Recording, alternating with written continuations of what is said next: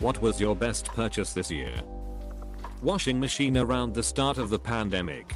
We used to haul the clothes to a laundromat and fold them there. Same. We got it installed the day before everything shut down. Best purchase ever. A Roomba. After having three spinal surgeries a few years ago, hoovering has been the worst. This bad boy has helped me more than you'll ever know. I got the Roborock robotic vacuum cleaner 2 years ago. And I spent way too much to get the extra features. Builds a map of floorplan. Can run at scheduled times. Can do individual rooms. Phone notifications to empty dustbin or clean sensors or replace brushes. But it's absolutely been a worthwhile investment. It literally changed my life. I can go close to a year without vacuuming on my own. But this thing makes it an absolute no-brainer. But the best thing about it is that it forces me to keep the floor clear so it can run. Squat rack. Took a long time to get everything set up, but it was worth the wait. Worth the wait. I'm not saying it was chickens, but it was chickens. They eat weeds and table scraps. They give us eggs. They give us good compost. They are funny as all heck. They force me to go outside regularly.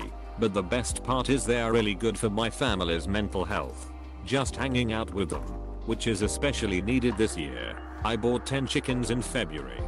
We had been planning on it since buying our property, but COVID-19 finally pushed us to do it. Love the orange egg yolks and my daughter loves to play with them. A plane ticket to leave an awful ex. Bought some pants a week or two ago. I've had only two pair for quite a while, and it will feel nice to have some more. Look at Mr. Fancy Pants here, owning three pairs of pants. We are not all Rockefellers, you know. You better watch who you're calling Mr. Fancy Pants. An inflatable stand-up paddleboard. Being able to drive to a lake and paddle around on the water for a few hours really helped me get through this year. Paddleboarding is so much fun and great for your abs and my dog rides with me, too. It's fun hearing all the comments from the boaters look at that dog on the paddleboard. I usually hate attention, but I love that. A good backpack. I didn't think it'd be so handy, but I use it every day, and it's knowing that I can just grab it and go instead of worrying about getting stuff gathered up or realizing I left something home that I needed. I'm mildly obsessed with backpacks. I don't even know how many I have, but definitely one for every occasion. Do I not have pockets and just need something to keep my phone, wallet and keys? I've got a pack for that. Need to throw my laptop and other work accessories in. There's a pack for that. 2 to 3 day trip, we are covered. Multi-day backpacking trip, I'm good there. And somehow I still want to buy more. A Kindle. I don't read much, but I'm slowly starting to read more and more. Pro tip if you have a library card, try the Libby app. I rent library books there to read on my Kindle and it's awesome. Another good tip is, if you can't finish a book before it's due back, you can just put your Kindle on flight mode and the book will stay on it until you go back online. I impulse bought a massive cutting block from Ikea that lives on our counter for $14. We love it. Even if IP performed some sort of Jedi mind trick to get us to buy it, we came in for a desk. Ikea, hey, your cheese needs a desk too. These are the hors d'oeuvres you're looking for. An oversized sweater. It's huge. It's so comfy. It makes me feel safe. You might like a comfy also. It's like an oversized sweater slash blanket. I just got one it's amazing. Lego. Keeps my hands and mind busy. Who cares if I'm 33? 33 year olds are their main clientele. Who else can afford Lego? House.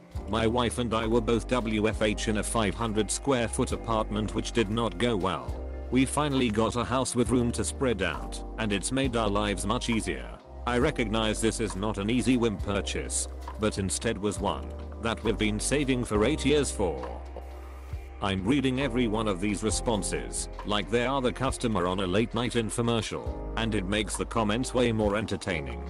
Especially the comments about therapy. 10 tenths. Would work through my fear of abandonment again. Apostrophe. A soft close toilet seat. No longer will I be awoken in the night by the phantom midnight pooper. Have fun accidentally slamming any non-slow toilet seats you happen to encounter for the rest of your days. This, I make an ass of myself at friends and relatives houses. Consider the cost of your opulence. Op. Bought an ice cream for a girl. We are total now. My frozen heart melted. Technically not this year, but in December 2019 without knowing what was around the corner, I bought a bidet. Little did I know what a great purchase it would actually turn out to be. Even without the pandemic it's probably the best purchase I've ever made. Does a refinance count? Ended up with a 2. 375 rate and saving like 160 grand. Invisalign. I'm 2 months in. Can see major improvements. And people don't have to see or hear me talk funny with a retainer. 2 more months to go. Never thought I would win an award for having crooked teeth, but now it seems worth it. I had a dentist who would give you a $100 credit if you referred someone to their office. I lived in a city where a lot of young adults like me were moving in and getting their first jobs and insurance. So I managed to refer about 27 people to their office. Insurance covered the other half, so I didn't pay a dime for my Invisalign. Turn your teeth into a pyramid scheme. Therapy. The older I get, and the more people I meet, the more I'm convinced that every single person should see a therapist regularly. I bought a $2 travel mug that gets me free coffee from a gas station on every Tuesday. I can't wait for my 200th free coffee because after that I'll have essentially paid less than one penny for each refill. This is the goal in life. Travelin Tuesday at Binary? Oh yeah. 100%. A big fancy desk for my home office. Now I'm actually comfortable working from home. Purchased a solid 14k gold Swiss watch at a garage sale for $5. Probably my purchase of the year. I worked in a small jewelry shop for a few years in my early 20s and was always responsible for taking packages to the post office. The only one my boss ever showed any concern about was a solid gold watch when we had to send off to a specific watchmaker. He told me, if anyone acts fishy on my way to the post office, throw the other package I had at them and run.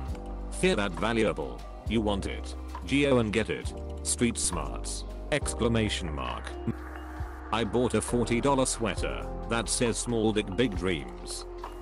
A mattress warmer with dual controls. It fits directly on the mattress, like a mattress protector, with the bottom sheet going on over it the warmth comes up gently from below and encourages your body to relax and enjoy a good sleep, especially on cold winter nights. An electric kettle. I will never buy a teapot again. Wish I did it years ago. I got a $50 Motorola phone after my Google Pixel 3a was stolen at the beach. It does everything my other phone did besides take good pictures. It does everything noticeably slower, but it's incredible that you can even get a smartphone for $50 typing this on it right now. A self-stirring coffee mug. It's so much fun. I actually look forward to getting up because it means I get to use it. All of the parts for my first PC. I'm very happy with it and it has turned out to be very useful for school. It also means I can play Cyberpunk 2077 later today. MMMM Dorji the hype train is over maximum capacity. Please don't forget to like and subscribe if you enjoyed watching this video. Leave your thoughts in the comments below.